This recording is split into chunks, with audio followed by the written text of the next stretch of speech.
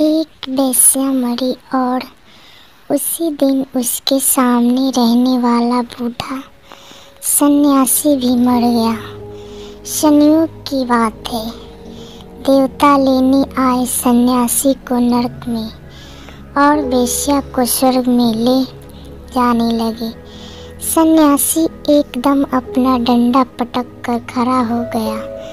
तुम ये कैसे कैसा अन्याय कर रहे हो।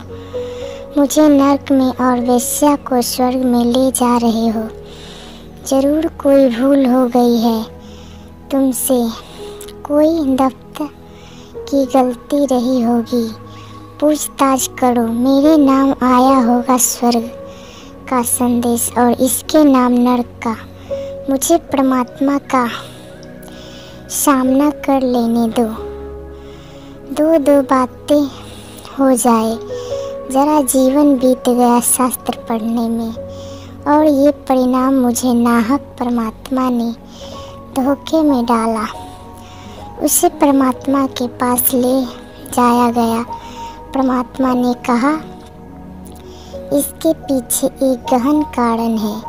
वैश्या शराब पीती थी, भोग में रहती थी, पर जब तुम मंदिर में बैठकर भजन गाते थे, धूप दीप जलाते थे, घंटियाँ बजाते थे।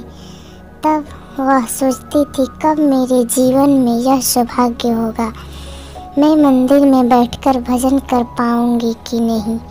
वह ज़ोर ज़ोर रोती थी, और तुम्हारे धूप दीप की सुगंध जब उसके घर में पहुँचती थी तो वह अपना आहो भाग्य समझती थी।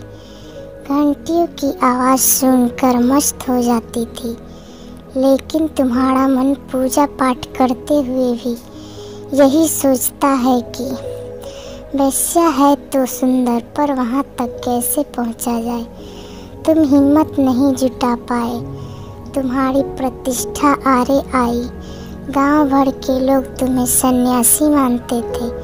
जब वैश्या नाचती थी शराब बांटती थी तुम्हारे मन में वासना जागती थी।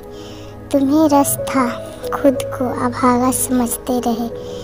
इसलिए वैश्या को स्वर्ग लाया गया और तुम्हें नर्क में। वैश्या को विवेक पुकारता था। तुम्हें वासना वह प्रार्थना करती थी। तुम इच्छा रख, रखते थे। वासना की वह कीचड़ में थी पर कमल की भांति ऊपर उठती गई। और तुम कमल बनकर आए थे कीचड़ में। धसे रहे।